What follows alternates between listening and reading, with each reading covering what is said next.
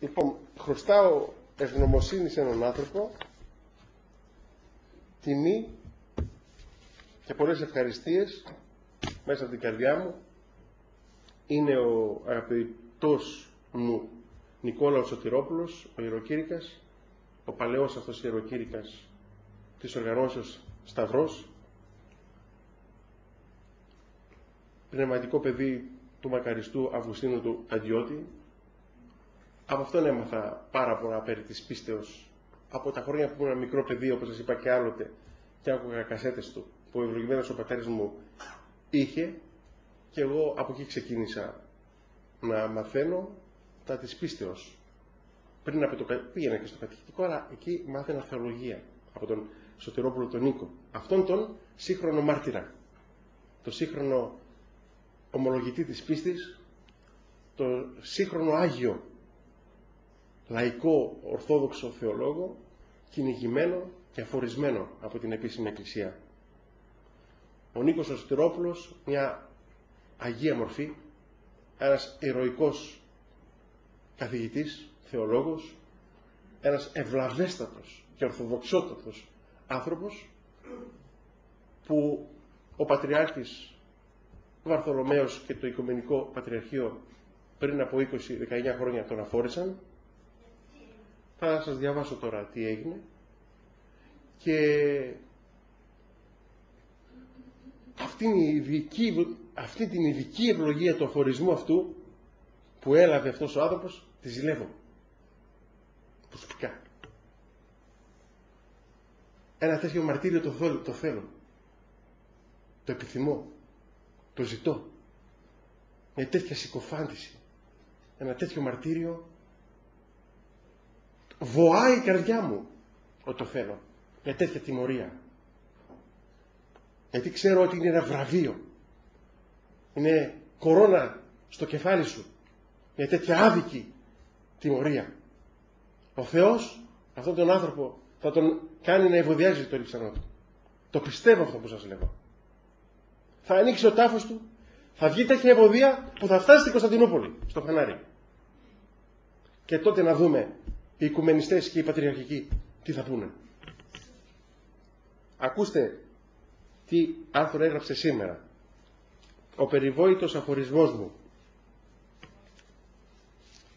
Στις 14 Δεκεμβρίου του 2012 ο θεολόγος και ιεροκήρυξ Νικόλαος Σωτηρόπουλος συμπληρώνω 19 έτη αφορισμού από το Οικουμενικό και Αρχιοικουμενιστή Πατριάρχη Βαρθολομαίο και τη λεγόμενη Μίζωνα και Υπερτηρή Σύνοδο και εισέρχομαι στο 20ο έτος αφορισμού του τέστην αποπομπής και παραπομπής στα έγκατα της κολάσεως όσων εξαρτάται από αυτούς οι οποίοι με αφόρησαν. Αφορισμένος αυτό σημαίνει. Ξεκομμένος και από αυτήν την επίγεια εκκλησία και από την άλλη. Από, από την εκκλησία. Ξεκομμένος. Στην κόλαση.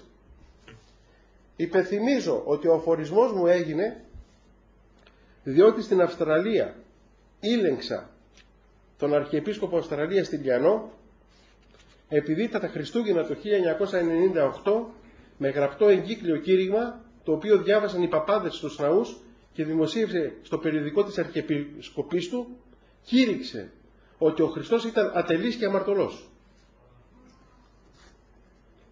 σε ραδιοφωνική διαομιλία του είπε ότι ο Χριστός ήταν όπως τον παρουσιάζει ο Καζαντζάκης στο βιβλίο του. Ο τελευταίος πειρασμός, δηλαδή ερωμένος της Μαγδαληνής. Κατόπιν δε κήρυξε και ότι ο Χριστός είναι κατώτερος από τον Πατέρα. Η Αγία Γραφή είναι μεγάλο παραμύθι και άλλα. Ελέξαμε δε τις φοβερές αιρέσεις του και προφορικός και γραπτός αλλά αντί να καθαριθεί ο Αρχιεπίσκοπος Αυστραλίας, αφορίστηκε ο Σωτηρόπουλος. Ο Πατριάρχης και τα επισκοπίδια της λεγόμενης Μίζωνος και υπερτερού συνόδου, κανέναν από τους αναριθμίτους ασεβείς το καλεπόν καιρό μας δεν τόλμησαν να αφορήσουν. Αφόρησαν εμένα, διότι δεν διαθέτω κοσμική δύναμη. Και με αφόρησαν χωρίς απαγγελία συγκεκριμένης κατηγορίας και χωρίς κλίση σε απολογία αφορισμός άδικος και άκυρος και επιστρέφω στα κεφάλια των αφορισάντων διότι δεν μετανόησαν και δεν ζήτησαν συγχώρηση από τον Θεό του οποίου παρέβησαν το θέλημα, από τον πιστό λαό, τον οποίο σκανδάλισαν και από τον υπεφαινόμενο, τον ίδιο, τον οποίο καταφόρος αδίκησαν με την μεγίστη των αδικιών. Αντιθέτως ο ένοχος πατριάρχης και η συνένοχή του ζητούν να μετανοήσω και να ζητήσω συγγνώμη εγώ για να μην τρωθεί αλλά να ικανοποιηθεί ο υπερτροφικός εγωισμός τους. Αλλά υπάρχουν και μερικοί καλοί χριστιανοί οι οποίοι από αγάπη και εκτίμηση προς το πρόσωπό μου χωρίς όμως βαθύτερη σκέψη επ του, του, ζητήματος συνιστούν να ζητήσω συγγνώμη από τον Πατριάρχη για να άρει τον αφορισμό μου. Υπάρχουν και μερικοί νοσηροί τύποι οι οποίοι νομίζουν ότι και ο άδικος αφορισμός πιάνει. Υπάρχουν δε και άλλοι. Δεν πιάνει ο άδικος αφορισμός. Ούτε η άδικη κατάρα πιάνει. Δεν πιάνει. Σε καμία περίπτωση. Άμα είναι έτσι, θα καταργιόμαστε ένας τον άλλον και θα αφορίζουμε. Ο άδικος αφορισμός δεν πιάνει. Η κατάρα δεν πιάνει. Και ας είναι και από πάνω και από πατέρα. Μπορεί να είναι άδικη. Μπορεί να μπει δαιμόνιο στο γονιό και να, σε, να καταργηθεί το παιδί του. Θα πιάσει. Μπορεί να μπει δαιμόνιο στο, στο πατριάρχη, στο δεσπότη και να καταραστεί. Θα πιάσει και να αφοριστεί. Θα πιάσει, όχι. Να αφορήσει, όχι. Δεν θα πιάσει. Υπάρχουν δε και άλλοι οι οποίοι τρέφουν δυσμενή αισθήματα απέναντί μου και λένε να ταπεινωθεί και να ζητήσει συγγνώμη από τον Πατριάρχη. Σε όλους αυτούς εχθρούς και φίλους απαντώ. Τι έπραξα άξιον αφορισμού για να ζητήσω συγγνώμη; Αυτό είναι μια διαχρονική ερώτηση 20 χρόνια την κάνει. Κάθε χρόνο. Στην επέτειο το λέει. Είναι άξιον αφορισμού το να πολεμεί κανείς τις αιρέσεις και να ελέγχει αιρετικούς. Μάλιστα όταν αυτοί κατέχουν μεγάλα αξιώματα στην Εκκλησία και αντί να είναι φρουροί της πίστεως γίνονται προδότες της πίστεως και κατασκαβελίζουν το λαό. Η αίτηση συγγνώμη σε τέτοια περίπτωση θα ισοδυναμούσε με άρνηση του Χριστού. Θα ήταν σαν να έλεγα στον Χριστό «Χριστέ έπραξα κακός που υπεράσπισα το όνομά σου». Δεν αξίζει υπεράσπιση. Όχι επειδή έχει ανάγκη ο Χριστός τις υπερασπίσεις της δικιάς μας, επειδή έχουμε ανάγκη εμείς να ομολογήσουμε την πίστη μας.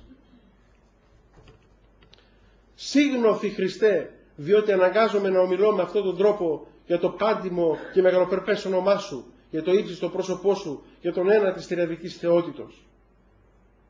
Σε επιστήμονα, ο οποίος παρά την, ε, την επιστημοσύνη του δεν καταλάβαινε τι σημαίνει η σύστασή του, να ζητήσω σύστασή του να ζητήσω συγγνώμη από τον Πατριάρχη, είπα για τη σύστασή σου να εξομολογηθείς σε αυστηρό πνευματικό πατέρα. Εκείνος του είπε να πας να ζητήσεις συγγνώμη τον Πατριάρχη και του λέει για αυτό που μου λες να πας να εξομολογηθείς σε αυστηρό πνευματικό πατέρα διότι αυτή η σύστασή σου είναι μεγάλη αμαρτία και ασέβεια, είναι άρνηση Χριστού. Παρέθεση. Θυμάστε τον Άγιο Πέτρο τον Αλεξανδρίας που σας είπα την άλλη φορά ο οποίος τον απείλησε ο, ο αυτοκράτορας να του κόψει το κεφάλι. Αν δεν δεχτεί τον Άριο που τον είχε αφορήσει τον Άριο. Και ερχόταν οι άλλοι γύρω του και τον έλεγαν σε παρα... άλλος από αγάπη για να μην, τον, να μην χάσει τη ζωή του. Άλλος από πονηράδα. Άλλος επειδή ήταν του Άριο προσκολλη... προσκολλημένος του λέγανε έλα έλα να λειτουργήσεις με τον Άριο. Συγχώρεσέ τον και λέει όχι τον καταράστηκα σε αυτή τη γη και στην άλλη, διότι μου είπε ο Χριστός, που είδε το Χριστό με το σκισμένο το χιτόνα. Αυτός είναι ο Άγιος Πέτρος Αλεξανδρίας. Αγαπητοί εχθροί και φίλοι, δεν με ενδιαφέρει τι φρονεί, τι λέγει και τι ζητεί και συνιστά κανείς εν σχέση προς το περιβόητο αφορισμό μου. Με ενδιαφέρει εκείνο το οποίο λέγει ο αρχηγός της πίστεως, ο Κύριος Ιησούς Χριστός, στο Κατολουκάν 6ο Ευαγγέλιο στίχος 22-23. Μακάρι εστέ όταν μισήσω ημάς οι άνθρωποι και όταν αφορήσω ημάς και ονειδήσωση και εκβάλλωση το όνομα ημών ως πονηρών ένεκα του Ιού του ανθρώπου.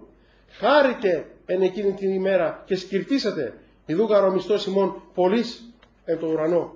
Επί τη βάση αυτού του λόγου του Χριστού χαίρο και σκυρτώ από χαρά διότι για να ελπίζω στη σωτηρία μου έχω στο ενεργητικό μου έναν αφορισμό επειδή υπεράσπισα τον ενανθρωπίσαντα Κύριο μου και Θεό μου. Αλλά αυτός ο αφορισμός είναι στο παθητικό των εχθρών μου. ή μάλλον των εχθρών του Χριστού και λυπούμε για αυτούς και τους συγχωρώ και προσεύχομαι για αυτούς και ταπεινώ συνιστώ να μετανοήσουν για να το συγχωρέσει και ο Θεός. Έχουν και οι αρχιερείς πρώτη μάλιστα αυτή ανάγκη μετανοίας για να τύχουν παρά του Θεού ελέους και σωτηρίας. Αλλά βέβαια άλλο να ακούς τον Παπανικό να τα λέγει και άλλο να ακούς τον ίδιο. Που συνεπέρνει τα πλήθη με το ύφος του και τη φωνή του. Αυτός ο φλογερός ιεροκήρυκας. Από τους λίγους, δεν ξέρω αν υπάρχει δεύτερος, δεν υπάρχει δεύτερος, από τους πολύ λίγους όμως ιεροκήρυκες με ορθόδοξο φρόνημα που έχουν μείνει ως την εποχή μας, ως τις ημέρες μας.